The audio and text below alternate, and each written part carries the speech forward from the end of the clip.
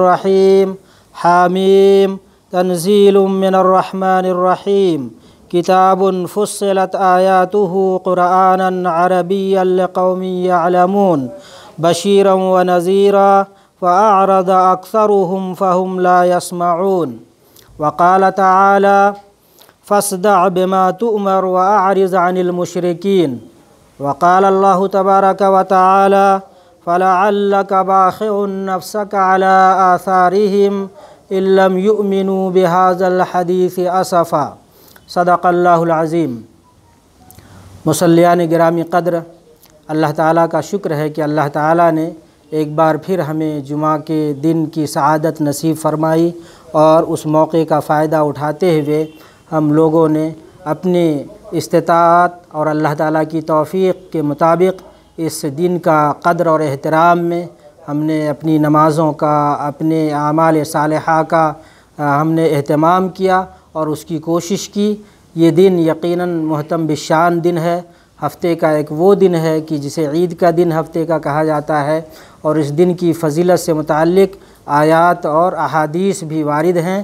حدیث میں یہاں تک ہے کہ یہ دن اللہ تعالیٰ کے اس دن میں خاص طور سے اللہ کا بندہ ایک خاص ساعت میں جب اللہ تعالیٰ سے مانگتا ہے تو اللہ تعالیٰ اس کی اس دعا کو اور اس کے مانگنے کو رد نہیں کرتا، اللہ تعالیٰ قبول فرماتا ہے۔ اس لیے اس دن کو ضائع کرنا یا اس دن کو فرصت کے دن کی حیثیت سے لینا اور اسے لہو و لعب میں برباد کر دینا، یہ مومن کا شیوا نہیں ہونا چاہیے، بلکہ اس دن کو اہتمام کے ساتھ گزارنا چاہیے۔ اس میں جو مصنون اعمال ہیں، نوافل کا اہتمام قرآن مجید کی کثرت سے تلاوت، اسی طریقے سے جمعہ کی نماز کا ادا کرنا، اسی طریقے سے اللہ کے نبی صلی اللہ علیہ وسلم پر درود و سلام پڑھنا۔ اللہم صلی علی محمد وعلی آل محمد، کما صلیت علی ابراہیم وعلی آل ابراہیم، انکا حمید مجید۔ اللہم بارک علی محمد وعلی آل محمد، کما بارکت علی ابراہیم وعلی آل ابراہیم، انکا حمید مجید۔ گزشتہ ہفتہ میں نے آپ کے سامنے دعوت دین کی اہمیت اور فضیلت سے متعلق کچھ باتیں رکھی تھی۔ آج اسی سلسلے کو مزید آگے بڑھاتے ہوئے آپ کے سامنے اللہ کے نبی صلی اللہ علیہ وسلم، جو دائی اعظم اور ساری انسانیت کے لیے ہادی رہنما بنا کر کے بھیجے گئے، آپ صلی اللہ علیہ وسلم نے اپنی زندگی میں دعوت کے مراحل میں کیا کیا مشکلات اور پریشانیوں کو جھیلا ہے، ان میں سے چند چیزوں کا میں تذکرہ آپ کے سامنے کرنا چاہتا ہوں۔ قرآن مجید میں جگہ جگہ اللہ تعالیٰ نے اللہ کے نبی صلی اللہ علیہ وسلم کی دعوتی مشن کے لیے جو آپ کی تڑپ تھی، جو آپ کی کاوشیں تھیں جو آپ کی قربانیاں تھیں جو آپ کی انتھک محنت تھی اور اس راستے کے لیے آگے بڑھنے کی جو آپ کی ایک خواہش دیرینہ تھی کہ مستقل اس کام کو کیا جائے۔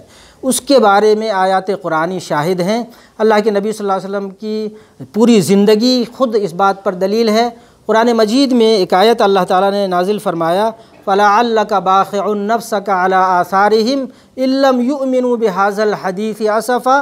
اگر یہ قرآن مجید کی بات پر اور توحید کی بات پر، دین اسلام کی بات پر یہ ایمان نہیں لے آتے ہیں، آپ کی بات کو یہ لوگ نہیں مان لیتے ہیں۔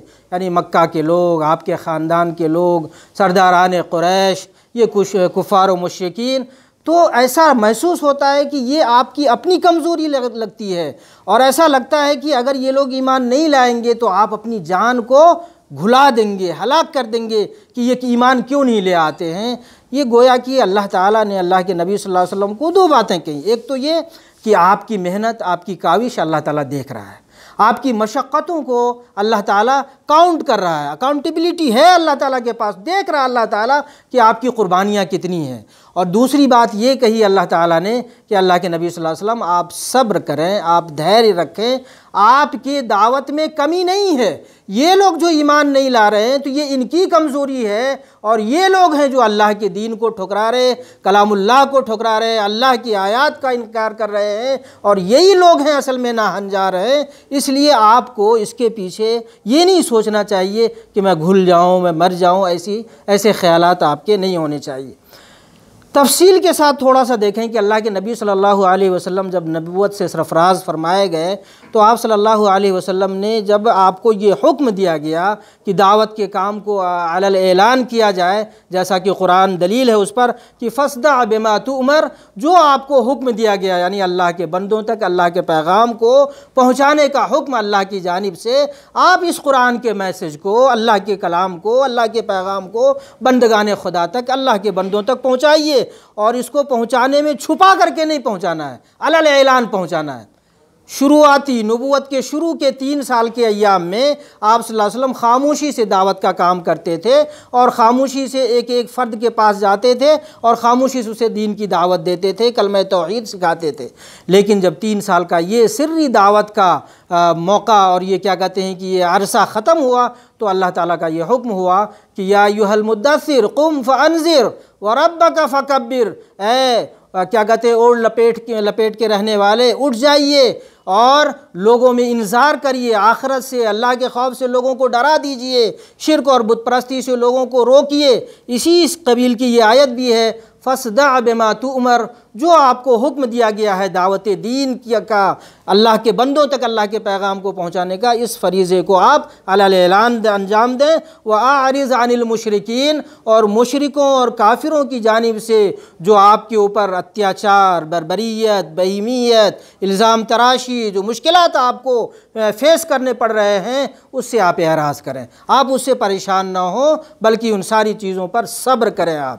اب دیکھیں کہ اللہ کے نبی صلی اللہ علیہ وسلم نے اس دعوتی مشن میں مکہ کے تیرہ سال یا اگر سری دعوت کے ایام کو ہٹا کر کے چھوڑیں تو دس سال اور مدینہ کے دس سال، بیس سالوں میں اللہ کے نبی صلی اللہ علیہ وسلم نے دعوت کے کون کون سے مراحل پار کیے۔ ہیں پہلے مرحلے میں اللہ کے نبی صلی اللہ علیہ وسلم کو لوگوں نے، جب لوگوں کو آپ نے دعوت کا، دعوت یہ اللہ کا پیغام پہنچایا تو لوگوں نے آپ کی باتوں کو توجہ نہیں دی آپ کی باتوں پر اور بے توجہ ہی برتی۔ ابو جہل اور ابو لہب جیسے لوگوں نے کہا کہ محمد، بس اسی کام، یہی کام تمہارا رہ گیا، اسی کام کے لیے تم ہمیں بلاتے رہتے ہو، اسی کام کے لیے تم نے ہمیں دعوت دی تھی، کھانے پہ بلایا تھا، اسی کام کے لیے صفا پہاڑی کے کنارے تم نے ہمیں بلایا تھا۔ یہ تمہارا کام نہیں ہے، ایسے باتوں، ایسی باتوں کے لیے ہمارے پاس وقت نہیں ہے۔ تو شروع میں تو سرسری طور پر لوگوں نے اعراض کیا اور نبی صلی اللہ علیہ وسلم کی دعوت کے پیغام کا انکار کیا۔ دوسرا فیض آ گیا اللہ کے نبی صلی اللہ علیہ وسلم کی دعوتی زندگی کا اور وہ دوسرا فیض یہ آیا کہ جس میں آپ صلی اللہ علیہ وسلم کو جسمانی اذیتیں دی گئیں۔ جانی مشقتیں آپ کو برداشت کرنی پڑی۔ آپ نے دیکھا کہ خود آپ کے چچا کی بیوی وہ راستے میں جس راستے سے آپ گزرتے تھے، اندھیرے میں، رات کے آخری پہر میں خانہ کعبہ جاتے تھے عبادت کرنے کے لیے، تو وہ اس راستے میں ام جمیل جو ہے کانٹا بچھا دیا کرتی تھی اور کیا کہتے ہیں کہ مٹیوں سے دھول سے اس کو ڈھک دیتی تھی کہ نبی صلی اللہ علیہ وسلم کو نظر نہ آئے اور گزرتے ہوئے ان کے پیروں میں کانٹا چپ جائے اور ایسا کئی بار آپ صلی اللہ علیہ وسلم کے ساتھ ہوا کہ راستہ چلتے ہوئے آپ کے پیروں میں کانٹا چبا اور آپ لہو لہان ہوئے۔ ایسا بھی ہوتا تھا کہ خواتین آپ کے سر کے اوپر کوڑا اور کرکٹ ڈال دیا کرتی تھی، جدھر سے آپ صلی اللہ علیہ وسلم گزرتے تھے، تاکہ آپ کو تکلیف ہو اور آپ صلی اللہ علیہ وسلم مکہ چھوڑ دیں یا اس علاقے کو چھوڑ دیں یا آپ اپنے کام سے باز آ جائیں۔ لیکن اللہ کے نبی صلی اللہ علیہ وسلم نے ان چیزوں کو برداشت کیا اور ان کاموں سے آپ صلی اللہ علیہ وسلم نہیں رکے۔ ایسا بھی ہوا آپ کے صلی اللہ علیہ وسلم کے ساتھ کہ خانہ کعبہ میں آپ ہیں، مقدس گھر ہے، عبادت کے لیے وہ گھر بنایا گیا ہے۔ کفار مکہ اس بات پر یقین رکھتے تھے کہ حضرت ابراہیم و اسماعیل نے اس گھر کو بنایا ہے خالص اللہ کی عبادت کے لیے اور اس گھر میں عبادت کے لیے نبی صلی اللہ علیہ وسلم جب تشریف لے جاتے تھے اور قرآن کی تلاوت کے لیے جاتے تھے تو لوگ گردن پہ اوجھڑیاں رکھ دیا کرتے تھے۔ لوگوں نے آپ کے گلے میں انگوچھا ڈال کر کے اور اتنا زور سے کھینچا کہ ایک بار آپ کی جان خاتمے کے قریب جیسے محسوس ہونے لگی اور زبان حلقان کو آ گئی۔ ایسی کیفیت آپ صلی اللہ علیہ وسلم کے اوپر آئی۔ یہ کیفیت بھی گزری آپ صلی اللہ علیہ وسلم کے اوپر کہ آپ سجدے کی حالت میں تھے اور اقبا ابن معیت نے آ کر کے اونٹ کی بڑی سی اوجھری آپ کے گردن کے اوپر رکھ دیا اور پورا جسم آپ کا دب کے رہ گیا اور آپ کی بیٹی حضرت فاطمہ کو یہ خبر پہنچائی گئی کہ فاطمہ تمہارے ابو کو خانہ کعبہ کے اندر ایسی کیفیت سے دو چار ہونا پڑا ہے اور اس پریشانی سے دو چار ہونا پڑا ہے۔ فاطمہ دوڑتی ہوئی اور روتی ہوئی آئیں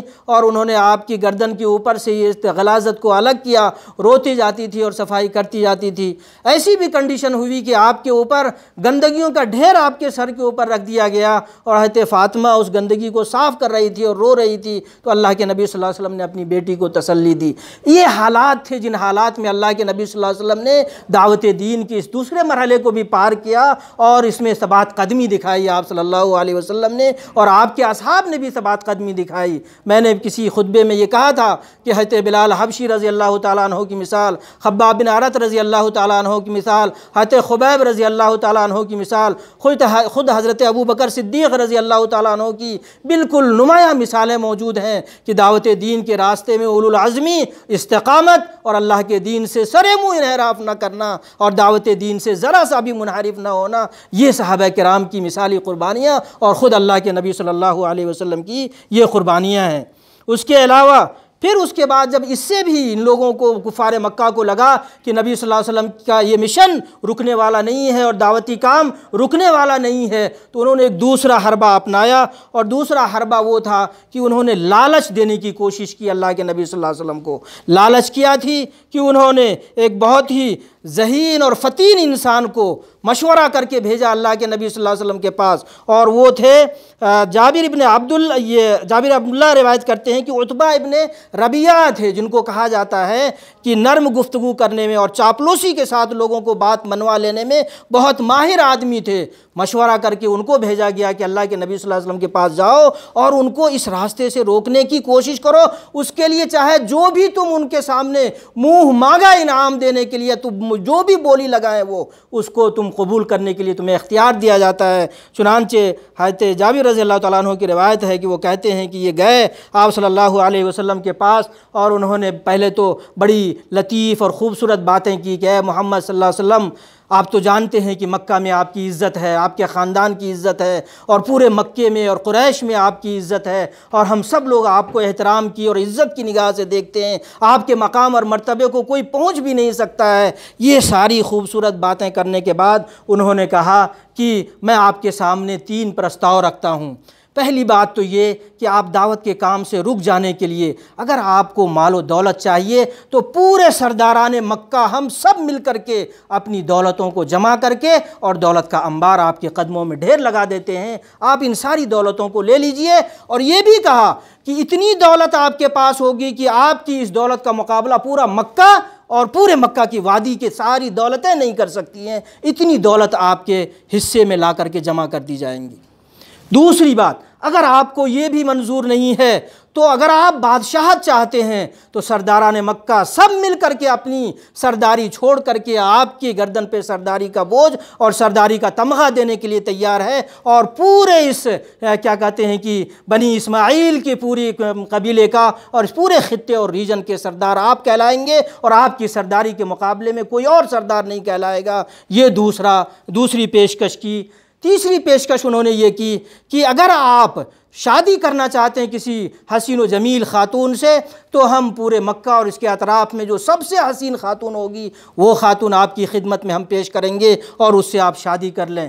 چوتھی پیشکش بھی انہوں نے کی کہ اگر آپ کو بادشاہت چاہیے تو ہم لڑ بھڑ کر کر کے اس علاقے میں جو چھوٹے چھوٹے بادشاہ ہیں، ان سب سے جیت کر کے آپ کے لیے اور پورے خطے کی بادشاہت بھی آپ کے قدموں میں ڈھیر کرنے کے لیے ہم لوگ تیار ہیں۔ اور پانچویں پیشکش انہوں نے کی کہ اگر ان میں سے کوئی بات بھی آپ ماننے کے لیے تیار نہیں ہیں، تو ہم سمجھتے ہیں کہ آپ کے ذہن کے اوپر شیطان کا سایہ اور آسیب ہے، آسیب کا سایہ ہے اور اس شیطان کے سایہ کو دور کرنے کے لیے کوئی طبیب آپ کو نہیں مل رہا ہے، تو ہم کسی ڈاکٹر کا انتظام کریں گے بہترین، اور وہ ڈاکٹر آپ کے دماغ کا علاج کرے گا تاکہ آپ ٹھیک ٹھاک ہو جائیں۔ یہ ساری باتیں اس شخص نے آ کر کے نبی صلی اللہ علیہ وسلم کے سامنے رکھی۔ اللہ کے نبی صلی اللہ علیہ وسلم نے علی اعلان یہ کہا، چاہتے تو اللہ کے نبی صلی اللہ علیہ وسلم شارٹ کٹ اختیار کر لیتے۔ کہ یہ بہت اچھا موقع، پورے مکہ میں لوگ میری بات مان جائیں گے اور مجھے ایک بادشاہت مل جائے گی، ایک حکومت مل جائے گی، پیسے بھی میرے پاس ہوں گے اور فوراً اسلام کا غلبہ یا اسلام کا نفاذ مکے کے کچھ خطے میں، اطراف میں ہو جائے گا۔ اللہ کے نبی صلی اللہ علیہ وسلم نے کہا کہ نہیں، دعوت دین کا سودا، اللہ کے کلام کا سودا نہیں کیا جا سکتا ہے، نہ بادشاہت سے، نہ حکومت سے، نہ دولت سے، نہ کسی اور چیز سے، بلکہ راہ راست پہ لانے کے لیے سیدھا، سمپلی یہ اللہ کا کلام ہے، اللہ کا دین ہے، اسے مانو بلا کسی شرط کے یہ پیغام اللہ کے نبی صلی اللہ علیہ وسلم نے لوگوں کو دیا اور یہ بات منوانے کی آپ صلی اللہ علیہ وسلم نے کوشش کی۔ جب اس میں وہ شخص ناکام ہو گیا تو اس کے بعد پھر ایک تیسرا طریقہ اپنایا۔ کفارار نے مکہ نے، سرداران مکہ نے، انہوں نے طریقہ کیا اپنایا؟ حضرت ابو طالب رضی اللہ حضرت ابو طالب اور ان کے آپ صلی اللہ علیہ وسلم کے خاندان سمیت سوشل بائیکاٹ کا راستہ اپنایا۔ آپ صلی اللہ علیہ وسلم کو اور پورے خاندان کو بالکل مقاتیہ کر دیا کہ نہ ان سے لین دین، نہ شادی بیاہ نہ کھانے پینے کی کوئی چیز ان تک پہنچنی چاہیے، نہ ان سے کوئی کلام کر سکتا، نہ کوئی بات کر سکتا ہے۔ اس قدر سوشل بائیکاٹ کہ حضرت خدیجہ رضی اللہ تعالیٰ عنہ جو اتنی مالدار تھی کہ مکہ اور مکہ کے مضافات میں مرد و خواتین میں سب سے زیادہ مالدار خاتون تھی، اس خاتون کو پتیاں چبانی پڑی اور چمڑی سوکھی ہوئی چمڑیاں پانی میں ڈال کر کے اور اس کو چبا کر کے بھوک کی کچھ شدت کم کرنی پڑی۔ جو کچھ بھی آپ صلی اللہ علیہ وسلم، جو احباب بھی آپ کے ساتھ تھے، ان تمام لوگوں کو یہ مشقتیں اور یہ پریشانیاں اور تکلیفیں برداشت کرنی پڑی۔ پھر یہ سوشل بائیکاٹ بھی ختم ہوا، یہ وقت بھی گزر گیا اور اس کے بعد پھر آپ صلی اللہ علیہ وسلم مکہ کے اطراف میں دعوت کا فریضہ انجام دیتے رہے۔ جب اس سے بھی ان لوگوں کو تسلی نہیں ہوئی اور دیکھا کہ یہ راستے سے باز نہیں آ رہے ہیں اللہ کے نبی صلی اللہ علیہ وسلم، تو انہوں نے کہا کہ اب ابو طالب کے پاس جا کر کے دو ٹوک بات کی جائے۔ کہ ابو طالب تم سردار مکہ ہو، ہم تمہیں عزت کرتے ہیں۔ قریش کے خاندان کے سب سے بڑے آدمی ابھی تم ہی ہو۔ تم اپنے چچا، اپنے بھتیجے کو سمجھا لو اور اس راستے سے روک دو۔ ادروائز تم اس کو ہمارے حوالے کر دو اور تم اس راستے سے ہٹ جاؤ، ہم اسے قتل کر دیں گے۔ حضرت ابو طالب چہرہ ان کا ایک دم غصے سے بالکل بھبوکا ہو گیا اور غصے کو ضبط کیا اور انہوں نے کہا کہ اے مکہ کے لوگوں تم لوگ بہت شریف لوگ ہو، مجھے تھوڑا سا وقت دو کہ میں اپنے بھتیجے سے اس سلسلے میں بات کر لوں۔ بڑھاپا آ گیا تھا، کمزوری لاحق ہو گئی تھی۔ اب اپنے بھتیجے کی جان کی حفاظت کرنا ان کے لیے جیسے مشکل ترین عمر محسوس ہو رہا تھا۔ انہوں نے ایسی حالت میں اپنے بھتیجے کو بلایا اور کہا کہ اے میرے بھتیجے، جب تک میرے بازوؤں میں طاقت تھی، جب تک میرے قوا مضبوط تھے۔ میں نے دین اسلام سے گرچہ نہیں اپنایا، لیکن میں تمہاری حفاظت کرتا رہا تھا۔ آج مکہ کے سارے سرداروں نے مل کر کے میرے سامنے ایک چنوتی رکھی ہے اور مجھے لگتا ہے کہ آج میں تمہیں اور میں تمہاری حفاظت کرنے میں کامیاب نہیں ہو سکوں گا۔ اے میرے بھتیجے، تم ان کی بات کیوں نہیں مان لیتے ہو؟ اللہ کے نبی صلی اللہ علیہ وسلم نے اس وقت یہ جواب دیا کہ اے میرے چچا جان، ان سے جا کر کے آپ کہہ دیجیے کہ یہ میرے ایک ہاتھ میں سورج اور دوسرے ہاتھ میں چاند لا کر کے رکھ دیں اور مجھ سے کہیں کہ دعوت دین کے کام سے میں رک جاؤں، تو یہ میرے لیے ناممکن بات ہے۔ اور یہ بات حضرت ابو طالب نے سرداران مکہ سے یہ بات فرما دی۔ اندازہ لگائیں کہ اللہ کے نبی صلی اللہ علیہ وسلم کو اس دعوت دین پر کتنا زیادہ یقین تھا اور اللہ کی اس پیغام کو پہنچانے کے سلسلے میں آپ کتنا یقین کامل اور محکم یقین رکھتے تھے کہ اللہ کے بندوں تک اس پیغام کو پہنچانے میں تھوڑی سی بھی ساری دنیا کی دولتیں حاصل کر کے تھوڑی سی بھی اگر چوک ہو گئی تو پھر اللہ تعالیٰ کے یہاں مواخذہ ہوگا۔ چنانچہ اللہ تعالیٰ نے قرآن مجید میں ارشاد فرمایا ہے۔ اللہ تعالیٰ نے اللہ اللہ کے نبی صلی اللہ علیہ وسلم کو فرمایا ہے کہ اگر تم جو کچھ بھی تمہیں حکم دیا ہے اس کا پورا کا پورا لوگوں تک پہنچا دو اور اگر تم نے نہیں پہنچایا تو گویا کہ تم خیانت کرنے والے ہوگے رسالت کے پیغام کی ترسیل میں اور رسالت کے پیغام کو دوسروں تک پہنچانے میں۔ یہ ایک مرحلہ بھی گزر گیا اور مکہ کے سرداروں نے دیکھا کہ اب بھی کوئی راستہ نہیں بن رہا ہے۔ آخری مرحلہ آ گیا اور وہ آخری مرحلہ تھا کہ انہوں نے ایک میٹنگ کی پلاننگ کی۔ پلاننگ یہ کی کہ اب اللہ کے نبی صلی اللہ علیہ وسلم کو مکہ سے نکال دینا پڑے گا۔ نہیں، مکہ سے نکالنے سے پہلے کی پلاننگ اور منصوبہ یہ تھا کہ اللہ کے نبی صلی اللہ علیہ وسلم کو نعوذ باللہ سرداران مکہ کے خاندان کے ایک ایک نوجوانوں کو جمع کر کے ایک ایک نوجوان کے ہاتھ میں تلوار دی جائے، رات میں ان کے گھر کا محاصرہ کیا جائے اور انہیں قتل کر دیا جائے۔ یہ پلاننگ ہو گئی کہ اب ان کی جان کا ہی صفایا کر دیا جائے، نبی صلی اللہ علیہ وسلم کی جان کا ہی صفایا کیا جائے۔ اور یہ خبر اللہ کے نبی صلی اللہ علیہ وسلم کو ہو گئی۔ اور اسی بیچ میں یہ فیصلہ بھی اللہ تعالیٰ کی جانب سے آ گیا کہ آپ صلی اللہ علیہ وسلم مکہ سے مدینہ ہجرت کر کے چلے جائیں۔ چنانچہ اللہ کے نبی صلی اللہ علیہ وسلم نے اس رات اپنے چچیرے بھائی حضرت علی رضی اللہ تعالیٰ عنہ کو اپنے بستر پر لٹایا اور یہ کہہ کر کے کہ ان مکہ کے سرداروں کی امانتیں میرے پاس پاس ہیں، پیسے، سونا اور چاندی اور زیورات کی شکل میں۔ اگر میں ایسے ہی چلا گیا تو یہ میرے اوپر الزام تراشی ہوگی کہ محمد ہماری امانتوں کو لے کر کے، دولت کو لے کر کے چلا گیا۔ اے میرے چچیرے بھائی، تم میری جانب سے امین بن کر کے میرے بستر پہ سو اور کل صبح کو ان لوگوں کی امانتیں واپس دے کر کے پھر تم مدینہ مدینہ آ جانا اور پھر تم ہجرت کرانا۔ چنانچہ حضرت علی بعد میں یہ بات بیان فرماتے ہیں کہ اس رات مجھے دنیا میں اپنی پوری زندگی میں سب سے سکون کی نیند آئی کیونکہ مجھے یقین تھا کہ اللہ کے نبی صلی اللہ علیہ وسلم نے جو ذمہ داری مجھے سونپی ہے، جب تک اس ذمہ داری کی انجام دہی نہیں ہو جائے گی مجھ سے، تب تک مجھے موت نہیں آئے گی۔ اس لیے اس رات میں تلوار کی چھاؤں میں بھی بہت ہی سکون سے سویا اور مکہ کے سارے لوگ، سارے نوجوان تلواریں ننگی تلواریں لیے اللہ کے نبی صلی اللہ علیہ وسلم کو شہید کرنے کے لیے، قتل کرنے کے لیے وہ کھڑے تھے۔ رات میں اللہ کے نبی صلی اللہ علیہ وسلم نکلے، سورہ یاسین کی تلاوت کرتے ہوئے ان کے اوپر، انا جعلنا فی آنا اعناقہم اغلالا، فہی الازقان فہم مقمحون۔ ہم نے ان کی گردنوں میں توق ڈال دیا ہے، سیدھے کھڑے ہیں اور ان کو ادھر ادھر دائیں بائیں ہلنے کی بھی فرصت نہیں ہے، یہ کچھ دیکھ نہیں سکتے ہیں۔ اللہ کے نبی صلی اللہ علیہ وسلم خاک اٹھا کر کے ان کے اوپر پھینکتے ہوئے نکل گئے اور پھر آپ صلی اللہ علیہ وسلم کے ہجرت کا پورا واقعہ پیش آیا اور پوری داستان ہے۔